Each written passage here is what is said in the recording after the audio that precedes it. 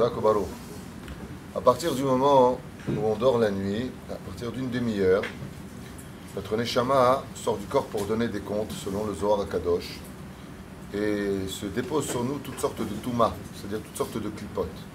Ce qui nous obligera le matin à faire Nitilat Yadaim avec la bénédiction.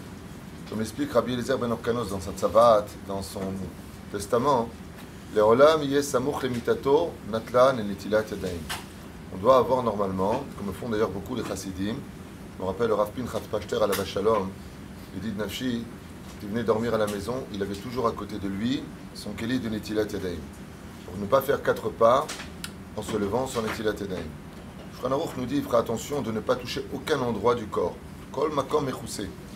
Malheureusement, beaucoup de gens, quand ils se lèvent le matin, afin de retrouver l'éveil du sommeil, passent la main sur le visage et ainsi ils déposent énormément d'impuretés. Alors on dit qu'on a peur de maladie. On n'a jamais vu quelqu'un, parce qu'il n'a pas fait Netilat Yadaim, parce qu'il a mis ses mains sur les yeux, devenir malade. Ma kavana, le fait de ne pas faire Netilat Yadaim, de se toucher les yeux, alors sache que tes yeux ne verront pas la vérité. Tu monteras d'objectivité. Le fait de toucher tes oreilles, tu attires de la touma, c'est comme un aimant, tu écouteras plus facilement du lachonara. La pureté de Netilat Yadaim est quelque chose d'essentiel, aussi bien spirituellement que matériellement. C'est l'ablution des mains.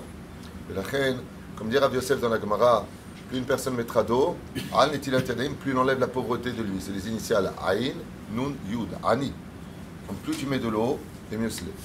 Ceci étant, le matin quand on se lève, des fois on a la salle de bain à côté et il y a les toilettes. Est-ce qu'on peut faire Netilat Yadaim Moi ce que je vous conseille, comme je fais chez moi, et les toilettes aussi, où vous faites un muret de 80 cm pour séparer les toilettes de, du lavabo, et dans ce cas vous pouvez faire Netilat, sortir dehors pour dire la bénédiction, on ne fait pas la bénédiction dedans bien sûr. Première option, c'est celle-ci. Deuxième option, vous faites Netilat sans bénédiction, juste pour enlever la Touma. Et ainsi donc, en souvenir des trois réponses qui sont données dans Shronaru rapidement, qui sont Zecher la Kohanim, en souvenir des Kohanim qui faisaient l'ablution des mains, pour enlever la Touma qui est sur nous, l'impureté qui est sur nous, et au niveau du Pshat, pour retirer la saleté qui est sur nous, car on ne peut pas servir Hachem, comme on le dit pendant la fête de Sukkot, Benikiot Kapai.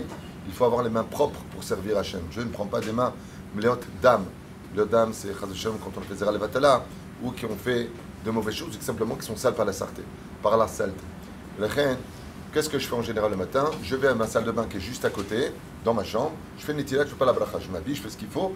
Une fois arrivé à la cuisine, alors je peux faire Netilat Yadaim.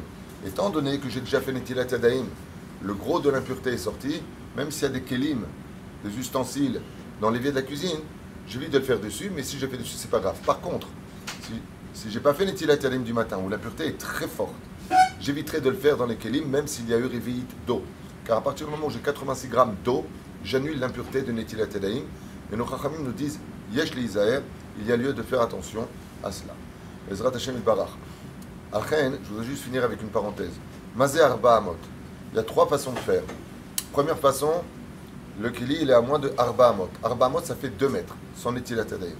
Deuxième option, je fais 4 pas, je m'arrête. Le temps de 4 pas. Je faire 4 pas, je m'arrête. Et ainsi de suite jusqu'à arriver à Netilat Yadaim, l'endroit où je peux le faire. Troisième option, je rappelle le Rav Yosef, il dit que toute la maison c'est Nikra Arbaamot. Donc tu n'as pas besoin de t'arrêter. Tant que tu es dans ta maison, tu peux directement aller de ton lit jusque dans la cuisine ou jusqu'au lavabo. Des fois, il y a des gens qui le placent dans le couloir. Tu peux directement aller là-bas et faire Netilat Yadaim. Vous avez ces trois options, ce qui fait que celui qui peut faire le plus proche possible d'avoir la bracha. Par contre, il est interdit de toucher quoi que ce soit avant Netilat Yadaim. Et après, on posera la question alors qu'est-ce qu'on fait? Si on va chez quelqu'un qui n'a pas fait Netilat Yadaim, on veut manger une pomme. Rince-la.